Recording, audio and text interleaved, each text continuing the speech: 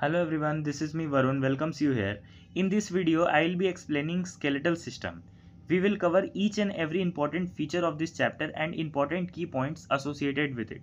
By the end, we will have fully 3D skull for better understanding. This, vid- this video will be in few parts. In the very first part of this video, we will be covering up to skull. Hopefully you will enjoy the video and the ease of learning. So let's continue. So if we talk about skeletal system skeletal system consist of framework of bones and few cartilages जो हमारा skeletal system है, वो bones और कुछ cartilage से मिलकर बना हुआ है। Our skeletal system plays a very significant role in movement shown by our body हमारे बॉडी के द्वारा जो मूवमेंट दिखाए गए हैं, जैसे चुइंग रनिंग वॉकिंग इसमें हमारा स्केलेटल सिस्टम का बहुत ही महत्वपूर्ण रोल है। Human skeleton is consist of two hundred six bones हमारा जो ह्यूमन का स्केलेटन है, वो दो सौ छः बोन्स से मिलकर बना है। If further we classify our skeletal system we have two category endoskeleton and exoskeleton. Firstly if we talk about exoskeleton it is ectodermal in origin whereas endoskeleton is mesodermal in origin. Exoskeleton is dead whereas endoskeleton is living. Exoskeleton is composed of epidermal tissues whereas endoskeleton is composed of specialized connective tissue. If we talk about the example for exoskeleton we have derivatives of skin such as nails hook horn claws hair etc whereas in endoskeleton we have bones and cartilage one important point arises here that bones are hard and cartilages are pliable firstly if you talk about pliability it is nothing but the ability to resist compression यानी कि अगर हम लोग किसी चीज़ को compress करें और वो कंप्रेस हो जाए और फिर कंप्रेशन हटाने पर वो नॉर्मल अपने स्टेट पर आ जाए तो वो चीज़ प्लायबल कहलाता है। Cartilages are pliable due to chondroitin salt cartilage में कॉन्ड्रोटिन सिक्स सल्फेट नाम का सॉल्ट प्रेजेंट होता है, जिस कारण से वो हार्ड नहीं होकर प्लायबल हो जाता है। वेर एज बोन में कैल्शियम सॉल्ट प्रेजेंट होता है, जो कि उसको हार्ड बनाता है। फर्दर अगर हम लोग एंडोस्केलेटन की बात करें तो endoskeleton have 206 bones that is our human skeleton endoskeleton is categorize into two parts axial skeleton and appendicular skeleton when we are in our anatomical position, the bones distributed along the main axis of our body comes under axial skeleton. For axial skeleton we have 80 bones in which skull contain 29 bone vertebral column contain 26 bone sternum is a single bone and ribs are of 12 pairs that is 24 bones. If we talk our appendicular skeleton we have 126 bone. Limb bones are in 120 bones whereas 6 girdles we have that is pelvic girdle scapula and clavicle we will look further. If we talk about limb bones we have four limbs two lower limb and two upper limb that is दो हाथ और दो पैर। Thirty bone in each limb thirty thirty bone हमारे दोनों हाथों में और दोनों पैरों में मिलाकर वन ट्वेंटी बोन हम लिम बोन्स के अंदर काउंट करते हैं। Further if we talk about axial skeleton axial skeleton are categorize in four part we have eighty bone as axial skeleton in which vertebral column content twenty six skull content twenty nine rib content twenty four and one in sternum skull is also categorize in two part 22 we have skull bone and 7 we have skull associated bone. जो bone skull बना रहे हैं या जो bone skull में present है, उन bone को बोला जा रहा है skull bone whereas skull से एसोसिएट यानी कि स्कल से जुड़े हुए या स्कल से आर्टिकुलेटेड बोन्स को कैटेगराइज किया जा रहा है स्कल एसोसिएटेड बोन्स के अंदर। स्कल बोन में अगर हम लोग देखें तो दो पार्ट्स आते हैं cranial bones and facial bone cranial bone वो बोन है जो कि क्रेनियम बना रहे हैं। Cranium is nothing but it's the bony covering present in our brain हमारे ब्रेन को कवर करने वाला एक हड्डी का ढांचा है क्रेनियम जिसको बनाने के लिए आठ बोन लगते हैं जिनका नाम है frontal parietal temporal occipital ethmoid and sphenoid we have one frontal two parietal two temporal one occipital one ethmoid and one sphenoid bone If we talk about facial bone, we have 14 bones. These 14 bones of facial bones are also known as 14 skeletal elements. We have two lacrimal bone, two zygomatic bone, two maxilla, one mandible. Maxilla is nothing but our upper jaw and mandible is our lower jaw. Nasal bone we have two, two inferior turbinal or inferior nasal concha, one vomer and two palatine. Palatine is nothing but when we are close our mouth and touches our upper jaw with the tongue, the hard part is known as palatine.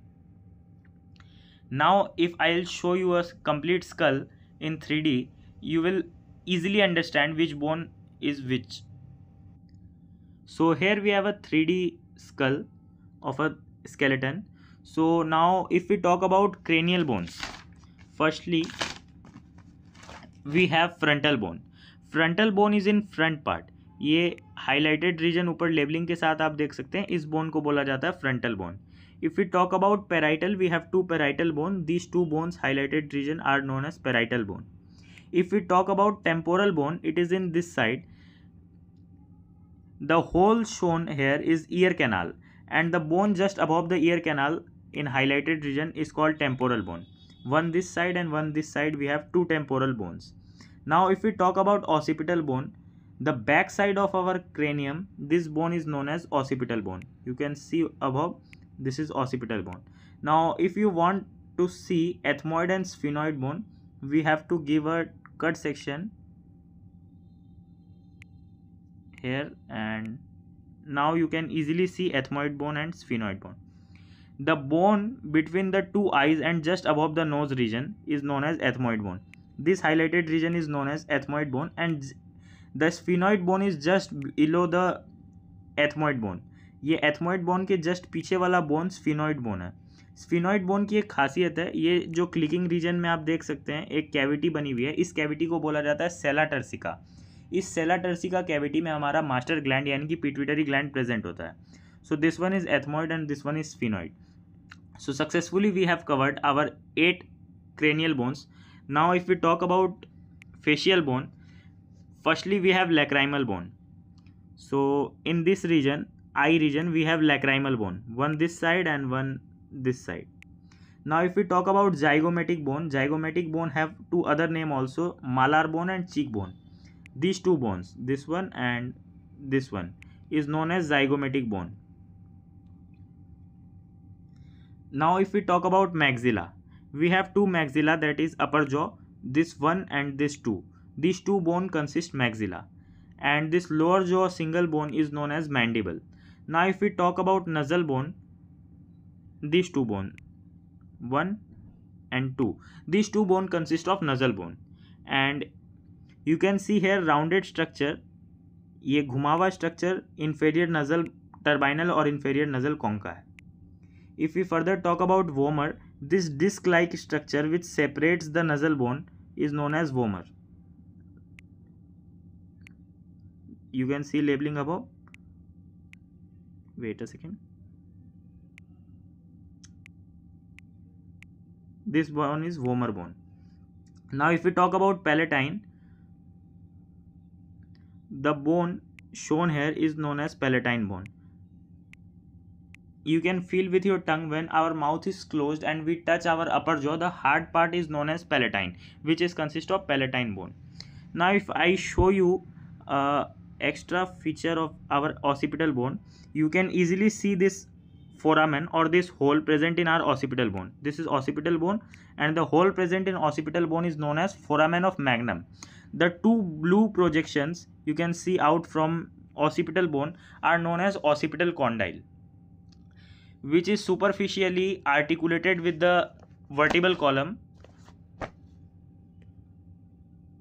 Here two condyles are projected out so that's why human skeleton is dicondylic or human skull is dicondylic. So this is all about the skull and now if we talk about skull associated bone we have one skull associated bone easily visible here known as hyoid bone this hyoid bone is of U-shaped and present at the base of buccal cavity. One special feature of this hyoid bone is that this bone do not articulate with any other bone. ये bone किसी और other bone से articulate यानी कि articulate मतलब attached नहीं है या सपोर्टेड नहीं है। हाँ tongue our tongue is articulated with this bone हमारा जो टंग है, वो इस बोन पे आर्टिकुलेटेड है।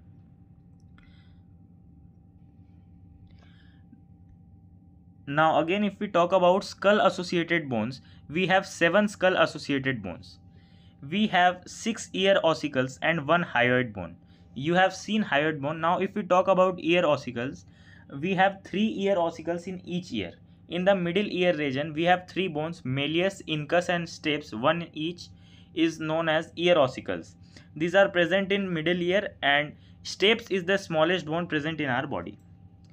So this is all about the first part. Now if we see several key points important key points related to this part we have skeletal system consists of framework of bones and few cartilages. Human skeleton contains 206 bone. It play a significant role in movement shown our by our body we have seen that occipital bone have two projection called as occipital condyles the skull region articulate with the superior region of vertebral column with the occipital condyles यानी कि ये दो occipital condyles निकलते हैं और vertebral column के ऊपर वाले रीजन पे सर्वाइकल वर्टिब्रा के रीजन पे जाके अटैच हो जाते हैं, जिससे हमारा स्कल ईजिली वर्टिबल कॉलम पे टिक जाए। Amphibians and mammals have dicondylic skull हमारे ऑसिपिटल बोन से दो प्रोजेक्शंस निकलते हैं, इसीलिए हम लोग डाइकोंडाइलिक कहलाते हैं। Whereas species apes and reptiles के स्कल से एक सिंगल कॉन्डाइल निकलता है, जिस कारण वो लोग मोनोकॉन्डाइलिक हैं। हमारे बॉडी का स्मॉलेस्ट बोन स्टेप्स बोन है। बोन्स नॉन प्लायबल होते हैं whereas cartilage are pliable region you have shown now in occipital bone a hole like structure foramen is present known as foramen of magnum from which spinal cord arises spinal cord is expelled out from this region और you can say that spinal cord comes out by the cranium through this foramen. So this is all about the very first part of this chapter. Hopefully you can easily understand these things and enjoyed the video. So thank you so much for listening the next part is coming very soon so stay connected and be updated thank you